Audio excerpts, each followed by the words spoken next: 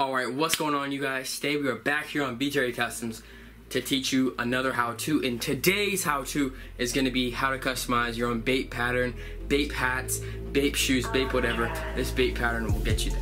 To create a hat or something like this with that Bape-esque pattern, what you're gonna need is to be able to print out some paper, print out that Bape pattern. You're gonna need to have a smartphone, hope you're watching on a smartphone, to access the pattern, to look at it. You're gonna need some paint, you're gonna need some pencils, you're gonna need some paper, but specifically you're gonna Angelus Direct paint. You're gonna need a couple different colors, black, greens, oranges, maybe, who knows what you're gonna need. So you wanna be prepared with some Angelus, some paintbrushes, some towels, stuff like that towards the end of the video, I should have a materials list of what you guys need and what I use to do this custom. So if you stay through to the end of the video, you can see that. But without any hesitation, let's get into the customization. I'm gonna do a little bit of a voiceover over some footage that I took while I customized the hat. So what I first started out by doing was printing out some of the Bape pattern on my computer and I just ended up practicing the Bape shapes and the Bape heads and stuff like that because I didn't want to mess up when I actually drew it on the hat because you do want to stencil it in, not stencil it in, but you do want to draw it in on your hat before you just go and paint. So I did end up practicing on this little notepad right here for a little bit. Then I transferred over to precisely drawing the Bape pattern on the hat, the brim of the hat, which is what I painted.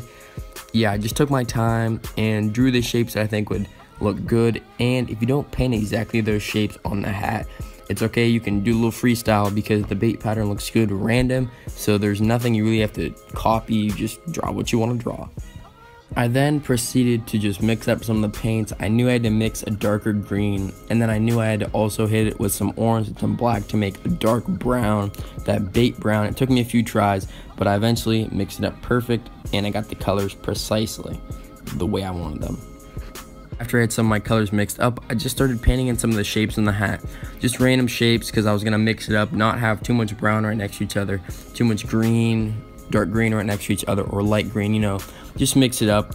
And I set myself up, I did one color at a time. I started with the brown, then the dark green, then the light green, using the same brush, but washing it in between each time.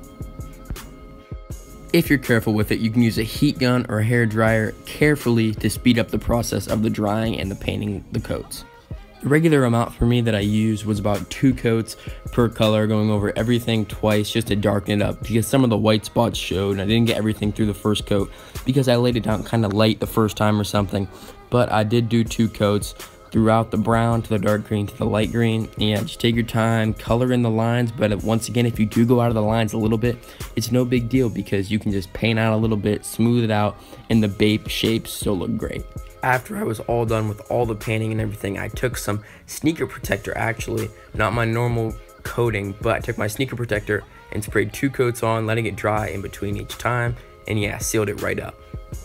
Well, thank you guys for watching this video. I hope you guys did enjoy and you learned something. You can go do this for yourself. If you did enjoy this amazing video, smash that like button smash, smash, smash the like button, subscribe to this channel, and also go check out my other channel, B Terry TV. That's my vlog channel. It'll be linked in the right corner of the screen right now in a card. So if you do want to go check that channel out, make sure you click that card and go subscribe to my vlog channel, B Terry TV. I upload a lot during the week. I upload when I can.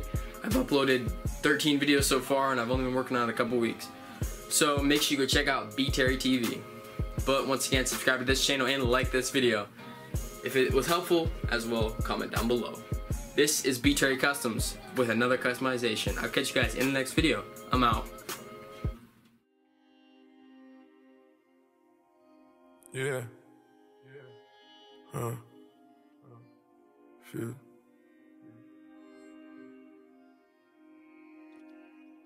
Like. Metro Boomin, want some more, nigga. I wake up on a daily basis and count this money up and marvel